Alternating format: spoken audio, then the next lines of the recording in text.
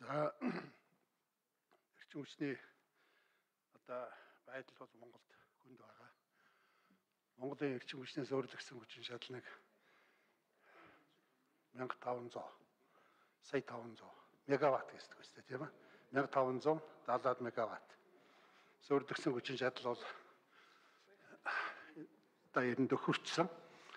Энэ жил бол маш өндөр тийм үзүүлэлт гаргасан.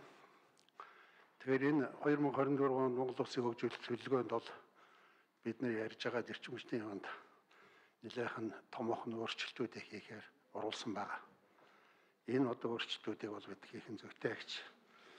За энэ тарифын хуулинд бол яг хаа 4 жил хүртэл хугацаагаар эсвэл татварыг 4 жилийн хугацаанд хэсэгчлэн төлөвлөх шийдвэрийг засгийн газар гаргаж болно гэх юм шаардлагч ирж байгаа юм. Жижиг сүрэн сайд бид нэр энэ дээр чинь ингээ шийдвэр гаргалдаг үндсэн хуулийн цэц чинь энэ дээр хууль тогтоомж зөрчижээ, үндсэн хууль зөрчижээ гэж шийдвэр гаргах магадлал байх ба та нар тооцож үзсэн үү? Та бол энэ асуудлыг маш сайн мэдж байгаа шүү дээ. Тийм ээ. Шатхууны асуудал дээр одоо гаргасан үндсэн хуулийн үндсэн хууль зөрчсөн гэдэг шийдвэр гарсан. Та энийг хүлээн зөвшөөрөл анх баталцгаа дараа нь хүлээн зөвшөөрөөд ингээ яваад байгаа. Сая төсвийн байнгын ороонд. Энэ дээр чи юм гарах эрсдлүүд байна уу? Та нар энийг юу гэж тооцож байгаа вэ?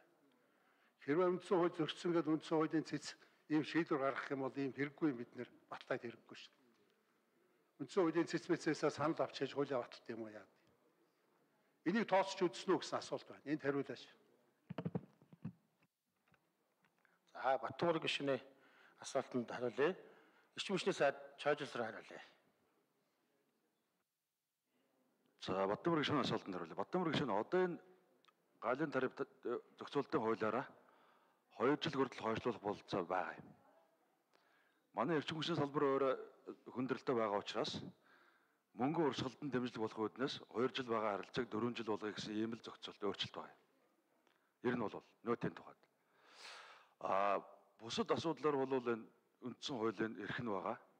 Ямар ч хууль дээр ямар ч үед иргэд одоо гомдол гаргаж болох байх.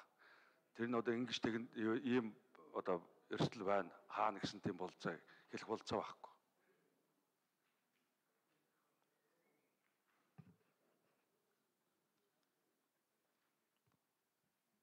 Тодруулах уу та? За. Багагийн Баттамөр гишүүн тодруулж өгсөн. Тэгэхээр ер нь хууль батлахдаа энэ гарах бол гарч болох эрсдлүүдийг их сайн тооцох хэрэгтэй л да. Тэгэхээр та нар яг ийм эрсдэл үндсэн хууль дээр очиод гарах ийм эрсдлийг бол тооцоогүй гарч болдшгүй гарвал тухайн үедээ шийдээ явна гэсэн гэж одоо гэж ойлгох уу? Жож сүнэ зайда. Хариулт өгөөч. За, чойжсрын сайд тодруулгад хариулъя.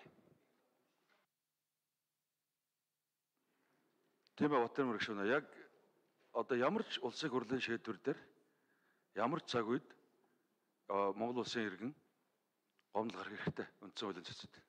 А цэц ямар шийдвэр гарахыг урьдчилан мэдэхгүй.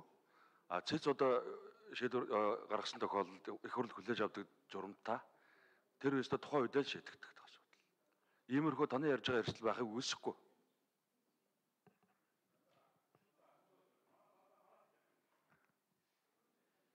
Зочин танилцуулъя. Улсын хурлын